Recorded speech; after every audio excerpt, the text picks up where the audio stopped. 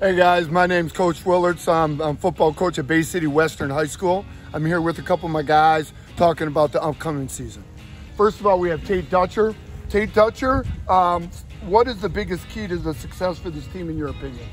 So both of our team, or so our senior year, or our seniors, our JV year we went nine and zero. Our, our juniors went nine and zero.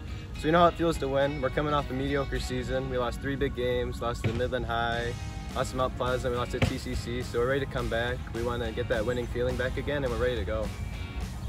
Awesome, Tate, Awesome, Tate.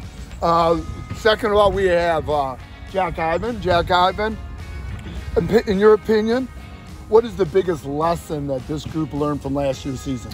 Um, I think the biggest lesson we learned was everyone has to be bought in if we want to go far. Because I feel like halfway through the season last year, people were ready for it to be over already and they didn't want to play.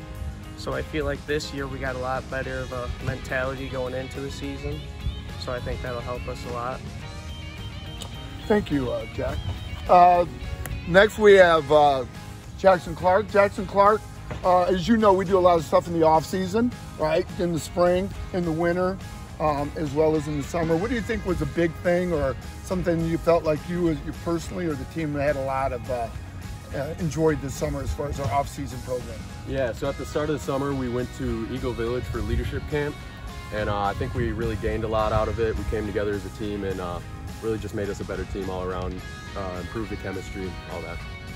Awesome, Jackson. And last but not least, we have Lucas Julian.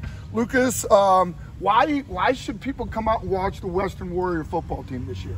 Uh, we're very energetic this year. The team's very. Uh, we like to hit people in the mouth. We have a lot of dogs on the team. It's gonna be a great year. Awesome.